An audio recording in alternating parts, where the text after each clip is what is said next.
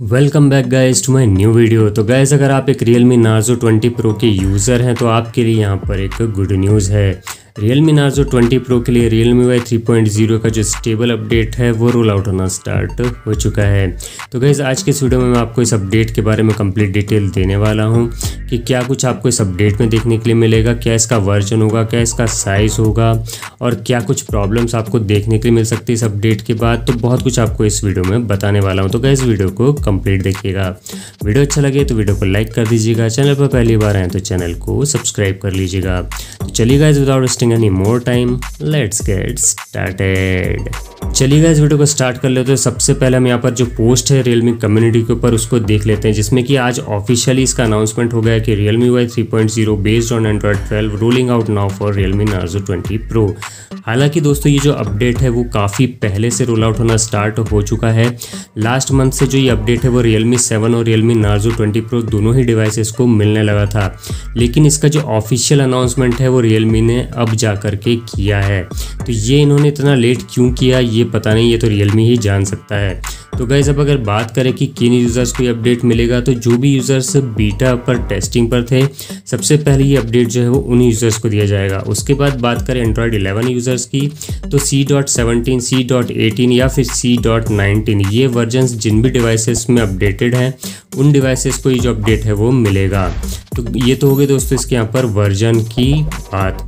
अब अगर हम बात करें कि इसमें क्या क्या कॉमन इशूज़ जो है आपको देखने के लिए मिल सकते हैं इस अपडेट के बाद तो सबसे पहला जो इशू है वो ये है कि ये अपडेट करने के बाद आपका जो फ़ोन है वो नॉर्मल से ज़्यादा टाइम ले सकता है बूट होने में।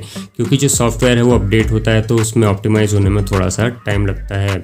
इसके बाद जो नेक्स्ट इशू आपको देखने के लिए मिल सकता है, वो ये मिल सकता है कि अपडेट के बाद जो आपका फ़ोन है वो प्रॉपरली वर्क ना करे, क्योंकि जो नया सॉफ्टवेयर है वो प्रॉपरली ऑप्टिमाइज़ नहीं हो पाता है।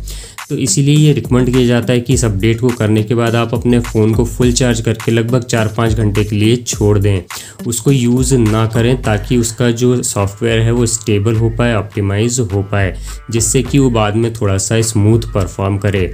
अगर आप ऐसा नहीं करते हैं तो फिर छः से सात दिनों तक में ये जो फ़ोन है आपका, वो यहाँ पर उसका सॉफ्टवेयर ऑप्टिमाइज होता है और फिर धीरे धीरे करके जो आपका फ़ोन है वो स्मूथली चलने लगता है।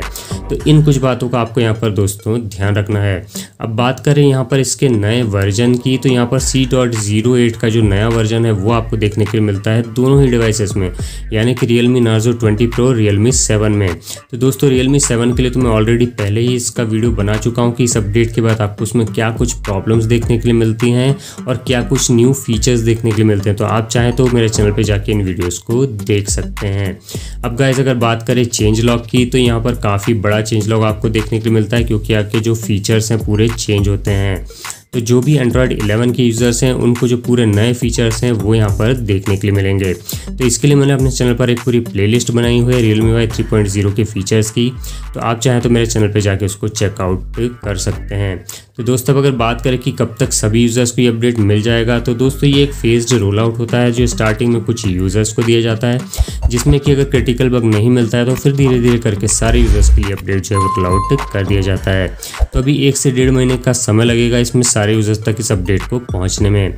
तो गाइज़ आपको आपके डिवाइस में अपडेट मिला है या फिर नहीं मिला है, आप मुझे नीचे कमेंट बॉक्स में कमेंट करके ज़रूर से बताइएगा। तो गाइज़ आई होप ये वीडियो आपको अच्छा लगा हो, क्योंकि इस अपडेट से रिलेटेड जो भी इन्फॉर्मेशन थी, वो मैंने आपके साथ यहाँ पर शेयर कर दिया है। तो गैस इस वीडियो में बस इतना ही था। मिलते हैं फिर किसी नेक्स्ट वीडियो में। तब तक के लिए bye bye and take care